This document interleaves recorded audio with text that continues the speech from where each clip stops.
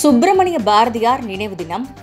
மகாகவி சுப்பிரமணிய பாரதியார் நினைவு தினத்தையொட்டி புதுச்சேரி கவர்னர் மாளிகை அருகே உள்ள அவரது திருவுருவ சிலைக்கு துணைநிலை ஆளுநர் கைலாஷ்நாதன் முதலமைச்சர் ரங்கசாமி ஆகியோர் மாலை அணிவித்து மரியாதை செலுத்தினர். தொடர்ந்து பாரதியாரின் இல்லத்திற்கு சென்று அவரது படத்திற்கு மரியாதை செலுத்தினர்.